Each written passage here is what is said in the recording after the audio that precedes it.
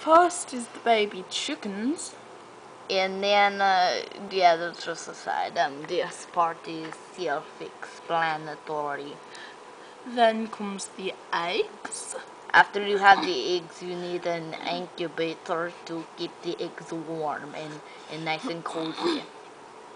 Then comes the cute little baby, baby chicken. And then as it as Or you chick. As you feed it, it gets very ugly like this. And the. Look. And after this, I put ad up on Craigslist for baby chicken or young chicken. And if not, it, if chicken is not adopted, it shall turn into this. Our lunch. Yes, um, a nice ham turkey sandwich. that Um, can't be. It's chicken sandwich. Yeah, no, it's chicken sandwich. Um, we have all contacts if you want to email. Names are Tiarra David and Jenna Paler. Um, our YouTube is Singing Turtle 100 and Nutella is my husband.